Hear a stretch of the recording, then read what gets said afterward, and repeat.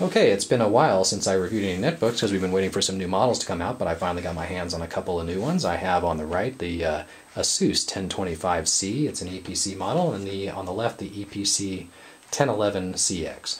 Uh, both of these two models are based on Intel's brand new Cedar Trail platform, which means they come with N2600 processors. They are dual core processors running at 1.6 gigahertz, and they also have accelerated GMA 3600 graphics, which is something that's new for the netbook platform, actually having accelerated graphics chip in the device. Now, just for comparison's sake, I brought with me our old favorite, the 1011PX. It is based on last year's, of course, platform with the N570 processor. Still dual core at 1.6 gigahertz, but not quite as snappy as the N2600s, and of course, no uh, accelerated graphics. And we'll take a look at the performance differences in a few minutes. But first, let's take a look at these two models. I want to look at the 1025C first. It's a brand new design for ASUS. Uh, they call it the flare design. If you take a look at it, it is very attractive. It has kind of the semi-metallic finish to it. It is a matte finish, which is great, so no uh, fingerprints, or not quite the fingerprint magnet at least that your typical glossy uh, netbook is. Uh, we also have a fairly thin design. You look, it's very narrow, and it's got some nice design features like this uh, chrome feature on the side. A lot of things on this one have been done, I think, to, to stave off some of that tablet envy. It's a very nice device to have. Let's take a look at the uh, ports on it. Of course, we have our typical SD slot. We have a microphone headphone combo port, USB but times two, also a Kensington uh, lock slot, and we have a Ethernet port here with this nice little design feature that keeps the line smooth for ASUS.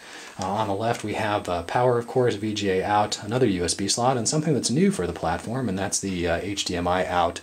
HDMI uh, is great to hook up to a flat screen if you want to do a presentation in a pinch or you don't have access to a projector.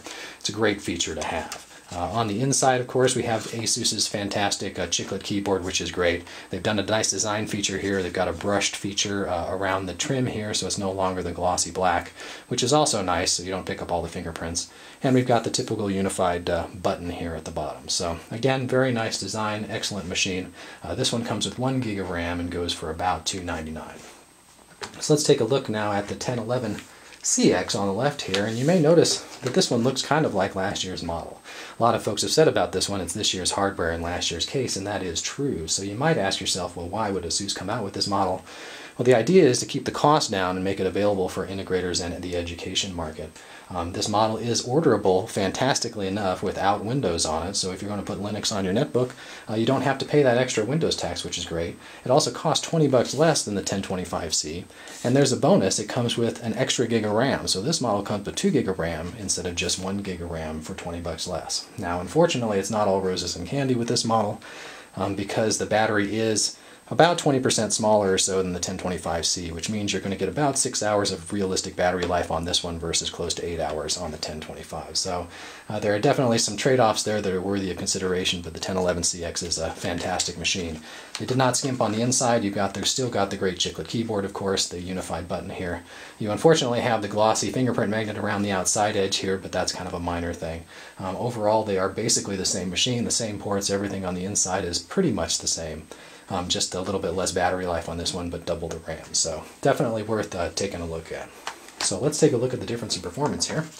I'm going to pull up the uh, 1011PX here and we'll open her up and then we'll take a look at the graphics differences. So one of my favorites, uh, favorite demos to run on these just to show the performance of the graphics, of course, is taking a look at Celestia it's a nice little test of the uh, performance of the processor as well as the graphics coprocessor, so we'll get a nice feel for what these two can do.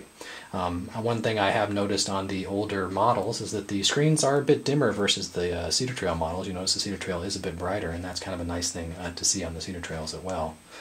Um, so here we are at the Earth. Uh, this is uh, where we usually start, and it's not real exciting to look at, so let's take a look at the Hubble Space Telescope instead, and then we'll scroll around that uh, in a second. So Let's go to Hubble over here. Alright, and once we fly to the telescope, we get a nice view of it.